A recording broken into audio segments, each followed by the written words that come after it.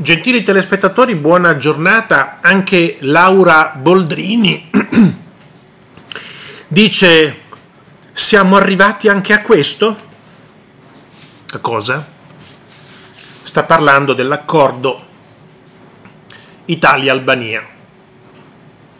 Dice proprio così la Boldrini in un post pubblicato sul suo profilo Twitter. Dice: E siamo arrivati anche a questo. In che senso, scusi? Andiamo a vedere. Siamo arrivati all'ammissione del totale isolamento dell'Italia in Europa. Beh, bugia. L'Italia non è isolata in Europa per niente. All'estero, fuori dall'Europa, dicono che la persona più influente che tira i fili in Europa è proprio la Meloni. Quindi quando i sinistri dicono che l'Italia è isolata in Europa, beh, suona, suona, il tastino, bugia, beh, bugia. Prima cosa che ha detto la Boldrini, subito una bugia. Avete notato che la sinistra oggi costruisce le sue disquisizioni filosofiche sulle bugie, perché se fossero sulla realtà non saprebbero che dire totale isolamento dell'Italia. Ma falso. E poi aggiunge, perché magari poi suona anche il, il, pulsante vero, e vediamo. Io se è vero ve lo dico, eh. Aggiunge, il governo Meloni, abbandonato dai suoi stessi alleati sovranisti, è in cerca di qualsiasi riscontro sulla gestione dei flussi migratori, arriva a chiedere aiuto all'Albania facendo leva sul desiderio di questo paese di entrare nell'Unione Europea. Allora, abbandonato dai suoi stessi alleati sovranisti, spieghiamo a Laura Boldrini che il sovranista, per definizione, è quello che pensa prima al proprio paese e poi agli altri. Quindi non potrai mai convincere un paese sovranista a prendersi i clandestini che tu fai entrare nel paese. Quindi la Meloni ha sempre detto, io al loro posto farei lo stesso. Cioè, oggi se l'Italia fosse al posto di uno dei paesi che non, è, che, che non fa entrare i, clandestini via mare, oggi se all'Italia chiedessero prenditi automaticamente i clandestini che io faccio entrare, l'Italia direbbe come Orban e gli altri sovranisti direbbe no. Quindi quello che abbandonato dai suoi stessi alleati sovranisti è un'ovvietà, non è un'accusa. È ovvio che il sovranista fa il sovranista anche con gli amici. Giusto? Ok, andiamo avanti. L'Italia chiede aiuto all'Albania facendo leva sul desiderio di questo paese di entrare nell'Unione Europea. Ma questo è vero. Questo è vero. L'Albania sta dando questo aiuto all'Italia in cambio, visto che l'Italia è il principale sponsor dell'entrata in Europa dell'Albania. Chiaro?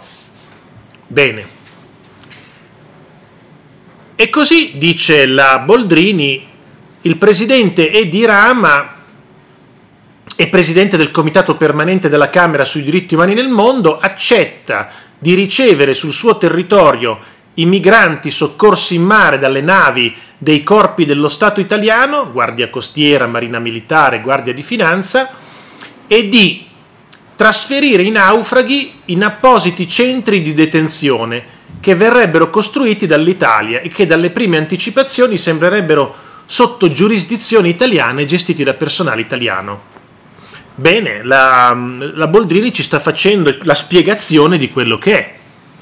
Ma questa spiegazione non mi sembra che voglia far capire che sia tutto così mostruoso. La, la, quest'ultima parte che ha raccontato la Boldrini è corretta.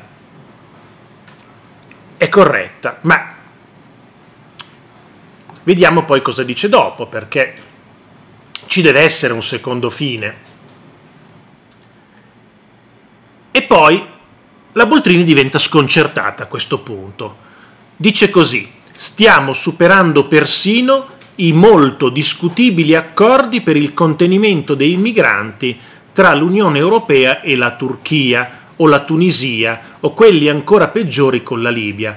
Qui si tratta di uno scambio di basso cabotaggio tra un governo che vuole entrare nell'Unione Europea e uno che ha un disperato bisogno di trovare una via d'uscita da un totale fallimento. Un accordo che non promette assolutamente nulla di buono, che assomiglia più all'ennesima mossa propagandistica sulla pelle dei migranti più che a qualcosa di vagamente sensato. Allora, il migrante, se va in un CPR in Italia o in un CPR gestito da italiani in Albania, al migrante non cambia assolutamente nulla. Quindi non c'è niente sulla pelle del migrante, perché eh, senza questo accordo al migrante, al migra- il migrante avrebbe fatto lo stesso identico iter. Non sarebbe cambiato assolutamente nulla. Il fatto è che questo accordo dovrebbe servire per far desistere, per far desistere le persone dalla partenza.